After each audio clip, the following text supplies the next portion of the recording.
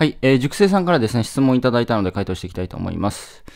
えー塾長質問です。切り抜きチャンネルのが669になりました。初めて19日目なんですが、現在1日100 200人ペースで増えています。そこで質問です。吉谷さんであれば登録1000人から1万人を目指すようにどのような工夫を一手間加えますか？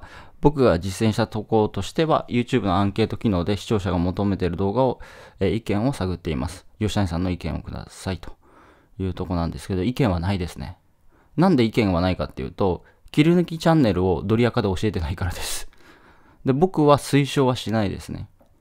うん。今、ひろゆきさんのね、切り抜きすごくバズってて、まあ、あの、アメバ TV でも取り上げてられてましたし、まあ、それで稼いでる人がアメバ TV で2人出てたかな。で、1人はもう1000万以上稼いでるっぽいですけど、うん。ただこれは、まあ、そのアメバ TV でもね、ひろゆきさんが自身が言ってましたけど、これダメになる可能性はもうあるよね、みたいな。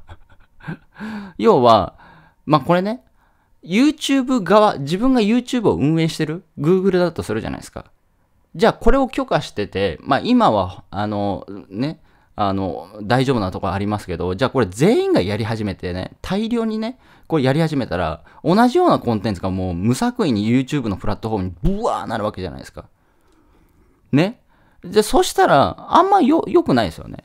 どどうすか？おな結局同じ動画なんで、元は。同じ動画が、まあ、まあ、切り抜きの数秒とかコンマ1秒とか変わってるかわかんないですけど、うん、まあ、あとはね、まあ、これが Google の仕組みとかシステムがバージョンアップしていくと、多分判断はできるようになってくると思うんですよ。まあ、もちろん手を加えて編集を入れてテロップ入れたりとかね、その、入れてる人もいますけども、ただ、元の、なんだ、動画の素材は一緒ですから、他人のコンテンツじゃないですか。うん。なんで、まあ、あまり推奨はできないですよね。うん。ただまあ、実際今現状としては稼げる、ノウハウっちゃノウハウでもあるので、うん。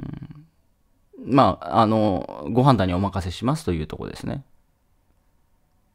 で、まあ、意見をね、これはあくまでも僕、もし僕、僕やん、僕はやんないですよ。僕やんないですけど、もし僕がやるんだったらもうこれ外注化しますね。外注化します。もうあの、同じようなチャンネルをもう大量に作っていきます。だからノウハウをマニュアルにして、で、あの、初心者の、だから1本100円とかで作ってもらえるように、もう、主婦の人とかね、あの、ランサーズとかで募集して、もう1本100円とかでね、切り取ってもらって、できるような仕組み、マニュアル動画を作って、仕組みを作って、で、そのチャンネルをいっぱい作ります。うん。だからその空きはあるんですよ。要は切り抜きチャンネルって空きはあるんですよね。要は名前は売れてるんだけども、なんだろうな。あの切り抜かれてない人って結構いるんですよ、まだ。だそこをもうね、まあ、ひろゆきさんはもう600人ぐらいいるのかなやってる人が。もう結構ライバル激戦区ですよね。じゃなくて名前はあるし、えー名前はの、ネーミングはあると。で、アクセス取れると。だけど切り抜きがないという人ですよね。うん。だそういう人を見つけて、T あの、Excel かなんかにまとめて、いけそうだなっていう人を、やってもらうって感じですね。外注化して。うん。で、あとは、うん、なんだ。外注化して、ブワーやって、で、その、チャンネル登録1万人というよりかはね、それで多角化して、うん、この1切り抜きチャンネルで、例えば5万円抜くみたいな感じですね。じゃあそれが10個の切り抜きチャンネルあれば、まあ50万ぐらい入るわけじゃないですか。広告収入で。まあ、その10個やってる中で1個当たってね、チャンネルが伸び伸びればね、まあその5万ではなく10万、20万、30万になるだろうし。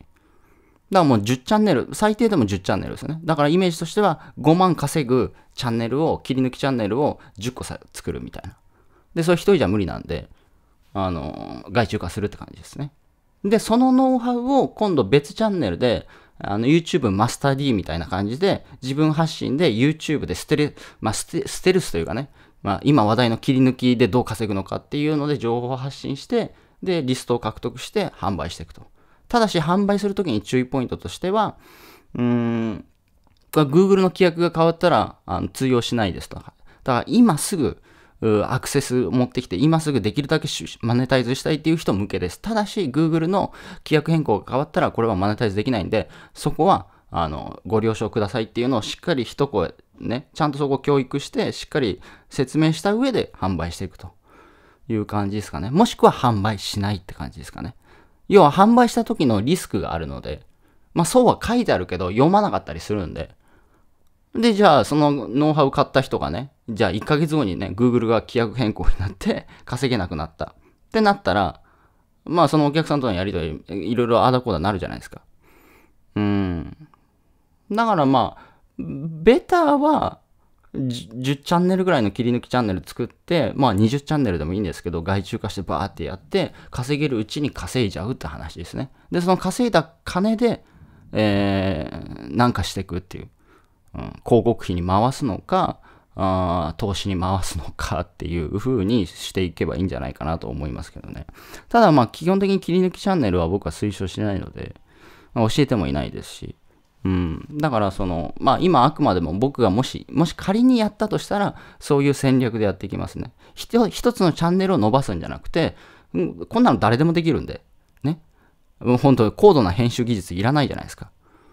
うん。なんで、まあそんな感じで、えー、多角化していくっていう感じですかね。だ1万人ではなく、うん、これをもうすぐ横展開していくって感じですかね。はい。ということで、いただいた質問に対して回答させていただきました。本当に自分の発信をしてください。はい。うん、それをドリアカでは教えてますし、はい。教えてないことでも、あの、質問いただければ、見解は言いますけども 教えてないので、これね、根本的に。はい。では、あ終わりたいと思います。ありがとうございます。